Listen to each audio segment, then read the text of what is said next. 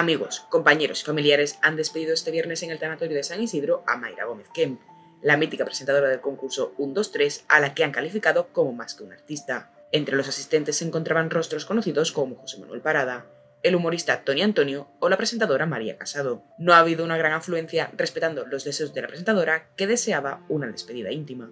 Mayra Gómez Kemp falleció el pasado domingo a la edad de 76 años. Unos días antes había sufrido un accidente doméstico en su casa de Mijas de la que recibió el alta médica. Así, el gran amigo de la presentadora José Manuel Parada ha afirmado que más que una presentadora era una artista. Yo creo que es de las últimas estrellas de la televisión. Mayra Mayra era más que una presentadora, más que una periodista, Mayra era una, una estrella, sobre todo por lo completa que era, ¿no? Por su parte, la hijastra de Mayra Gómez ha hablado del cariño que ofrecía la presentadora. Era muy hermosa, muy generosa, alegre, corajuda, eh, valiente, creativa, divertida, ocurrente, inventiva. Tengo todos los elogios para ella.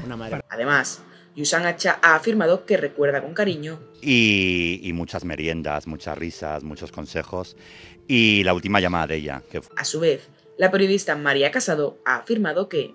Todo detalles bonitos, una mujer muy sensata, que veía mucho la televisión, que quería, llamaba a la televisión y creo que con ese amor con la que ella veía la tele la hacía y la transmitía. De esta manera amigos y familiares han dado el último adiós a la presentadora con multitud de mensajes de cariño.